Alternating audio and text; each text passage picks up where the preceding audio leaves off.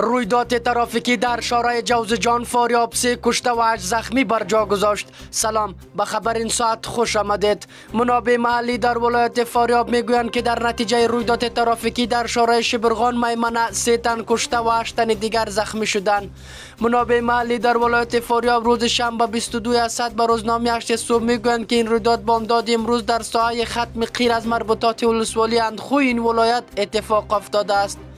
با گفته منابع این رویداد در پی برخورد دو اراده موتر تیز رفتار رخ داده است.